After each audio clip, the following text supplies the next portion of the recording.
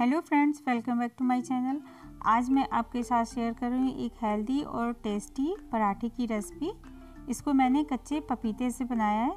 Video पसंद आया तो लाइक और शेयर कीजिएगा। तो चलिए शुरू करते हैं। ये मैंने दो कटोरी गेहूँ का आटा लिया है। इसमें हम तीन से चार बड़े चम्मच ऑयल डाल देंगे और एक चम्मच नमक डाल देंगे। और फिर इसको अच्छे से मिक्स करके थोड़ा थोड़ा पानी डाल के इसका सॉफ्ट डो बना लेंगे।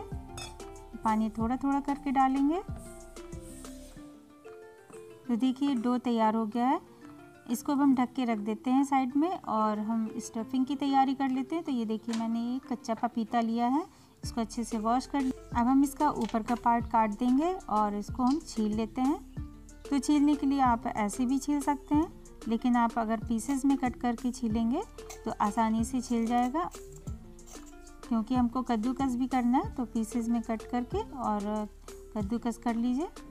तो ये देखिए मैंने इसको पीसेस में कट कर लिया और ऐसे छीलने में आसान भी रहता है। और इसको हम, ये जो बीज का पार्ट होता है, इसको खुरच के हटा देंगे। जो बीज होंगे, वो भी हटा देंगे।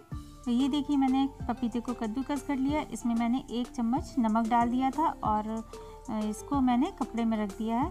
नमक डालने से इसमें जो जूस होगा वो आराम से छोड़ देगा तो हमारे पराठे अच्छे से बनेंगे। और जो कच्चे पपीते की कड़वाहट होगी, वो भी निकल जाएगी। तो ये देखिए, पानी सारा निकल गया है। अब हम पपीते को एक बाउल में ले लेते हैं। अब हम गैस पे एक कढ़ाई चढ़ाएँगे। उसमें दो चम्मच मस्टर्ड ऑयल डाल देते हैं। आप कोई भी ऑयल डाल सकते हैं। और इसमें हम डाल देंगे जीरा। और ये मैंने लहसुन लिया है, जो हरी वाली, पत्ती वाली होते हैं। और इसके साथ हम एक प्याज काट के डाल देंगे और इसको थोड़ा सा सौते कर लेंगे। इसके बाद हम डाल देंगे आधा चम्मच हल्दी, आधा चम्मच गरम मसाला, आधा चम्मच धनिया पाउडर, आधा चम्मच लाल मिर्च पाउडर और इसको भी भून लेंगे। अब हम इसमें जो कद्दूकस करके रखे थे हमने पपीते, उसको डाल देंगे। और आप इसमें हींग और अजवाइन भी डाल सकते हैं। इसको अच्छे से भून लेंगे। अब इसमें हम अमचूर पाउडर डाल देंगे एक चम्मच। आप नींबू का रस भी डाल सकते हैं और अब हम डाल देंगे भुना जीरा का पाउडर एक चम्मच और एक चम्मच नमक डाल के अच्छे से इसको भून लेंगे। एकदम ड्राई होने तक इसको भून लेना है। और इसके बाद हम थोड़ा सा ढक के इसको पका लेंगे जिससे इसमें कच्चापन ना रहे। तो ये देखिए स्टफिंग हमारी तैयार हो गई है। गैस को ऑफ़ कर देते हैं और इसमें हम धनिया की पत्ती कटी हुई डाल देंगे और मिक्स कर देंगे और इसको निकाल के ठंडा कर लेंगे। तो देखिए, अब हमारी स्टफिंग भी तैयार है और डो भी तैयार है। तो डो में से अब हम लोई काट लेते हैं एक बड़े नींबू के साइज़ की। तो सारी लोई हम इस तरह से काट लेंगे और फिर इसको हम थोड़ा सा गोल करके बर्तन लगा के इसको हम इस तरह से कटोरी नुमा बना लेंगे और इसमें हम स्टफिंग जितनी आ सके आराम से इसको भर के और थोड़ा सा अंदर को प्रेस करके जो बाहर डो है उसको हम ऊपर ले आएँगे इस तरह से दबा दबा के और एक में मिक्स करके इस तरह से बंद कर देंगे डो को। घुमा घुमा के इस तरह से दबा के और फिर से हम बर्तन लगा लेंगे और इसको बेल लेते हैं। ये देखिए, आराम से बिल जा रहा है। बिल्कुल भी स्टफिंग हमारी गीली नहीं है और बिल्कुल भी पराठे से बाहर नहीं निकला है।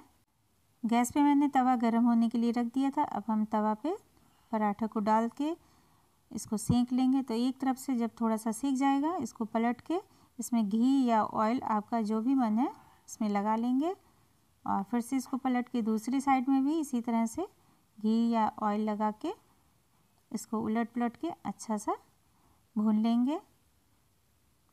ये देखिए हमारा पराठा कितना अच्छा बन रहा है और ये फूल के भी तैयार हो गया, ये देखिए। और ये पराठा आप एक बार बनाइए, बहुत ही टेस्टी लगता है। ये देखिए पराठा सीख गया है, अब हम इसको हटा लेते हैं। और मैंने दूसरा भी बेल के तैयार कर लिया और इसी तरह से हम इसको भी सेंक लेते हैं।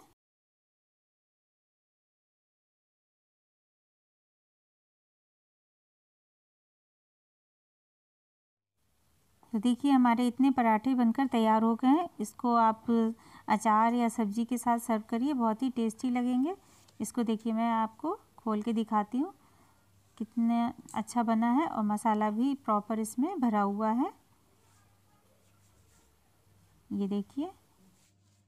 तो अगर आपको वीडियो पसंद आई हो तो प्लीज़ वीडियो को लाइक और शेयर कीजिएगा। चैनल पर नए हैं तो चैनल को सब्सक्राइब कीजिएगा। बगल में नोटिफिकेशन वाला आएगा, उसे ज़रूर प्रेस कीजिए, जिससे आने वाली लेटेस्ट वीडियो की नोटिफिकेशन आप तक सबसे पहले पहुँच सके। Thank you for watching video